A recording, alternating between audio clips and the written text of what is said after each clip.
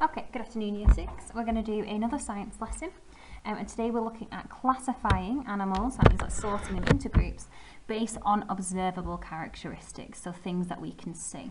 So it's really important that we can group animals and plants so that we can narrow them down into specific groups rather than talking about all animals and all plants as a whole.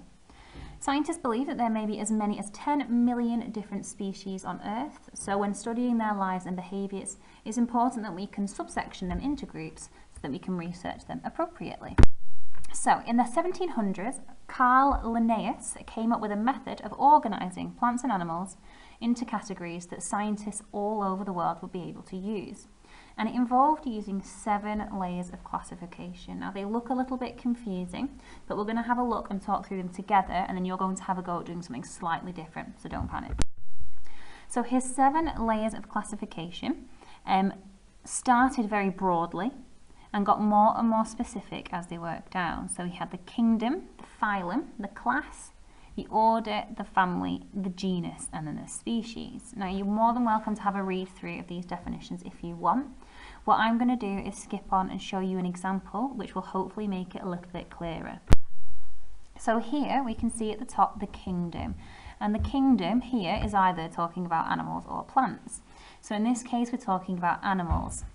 And then we move on to the phylum, and you can see there's a Latin word here, chordata, which means we're talking about vertebrates. Then it goes further into the class of animal, and we're looking at mammals. Then it goes further into mammals. What kind of mammals are they? They are carnivores, so they're meat eaters. So now we end up with just the animals that are vertebrates and are mammals and are meat eaters. Then we go further down into the family, and here we're looking at cats. We go further into the genus, and we're looking at Okay, sorry, Miss Bowden walked into the room and distracted me, but we'll carry on. So, we've got the family here, we're looking at cats, and then we go more specific to the genus, which type of cat, and then even more specific to the species, and we end up here with lion. So we've worked our way down from all the animals to the vertebrates, the mammals, the meat eaters, the cats, a specific type of cat, and then the lion. So I'll just whiz through this bit, we don't need to know it in great detail, but the main point to take from here is how he named the species.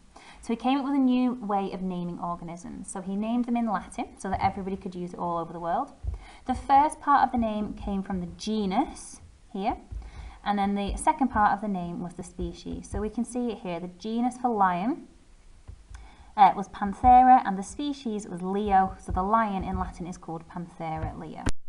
Now, luckily for us, this is not the only way we can classify organisms. There are simpler ways. So think back to year four, how have we classified living things in school in the past? Pause the video if you need to, take a minute and then click on. So we've had different ways of classifying vertebrates and invertebrates. We've had mammals, birds, fish, reptiles, amphibians, insects, arachnids, annelids, mollusks, crustaceans and echinoderms. So what I'm going to do on the next slide is I'm going to give you a couple of definitions. I'd like to see if you can work out which one of these I am referring to. So you've got three definitions here, year six. Pause the video for a moment if you need to, and then on the next slide, hopefully you will have the answers. So we should have had fish, we should have had annelids, and then we should have had insects. You've got three more coming up on the next slide, and your job is exactly the same. Pause the video if you need to.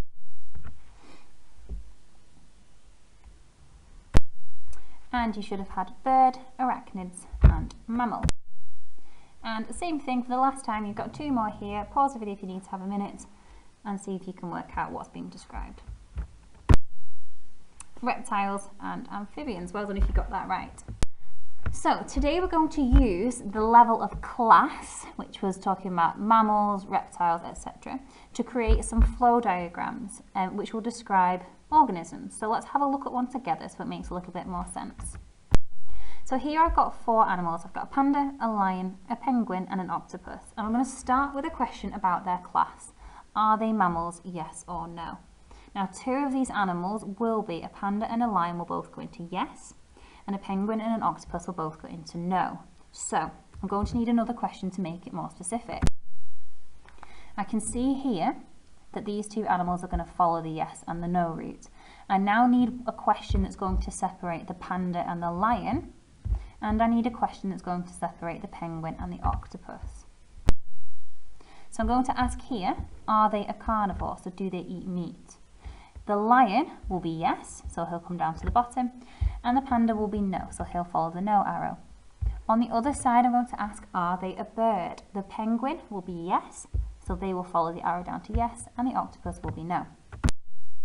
So here you can see what it'll look like. Now we don't need to put the pictures um, after the first question. We can save those until the end, but I've left it up so that hopefully it's a little bit clearer for you. Now, what I've done is on Dojo, I've uploaded some pictures of animals to give you a little bit of inspiration. Your job for the rest of the session, year six, is to have a go at coming up with your own flow diagram. I'd like it to have four animals, so we're going to need a top question, and then you're going to need two more questions to break them down further. Can you create a flow diagram starting with a question about the class of animals? So are they a mammal, are they a reptile, are they an amphibian, are they a fish? Um, and then moving on to something that you can choose. It can be to do with appearance, it can be to do with their diet, anything you like. Okay, and as per usual, once you've done that, please could you send it through to myself, Mr. Pugh, or Miss Alexander. Thank you.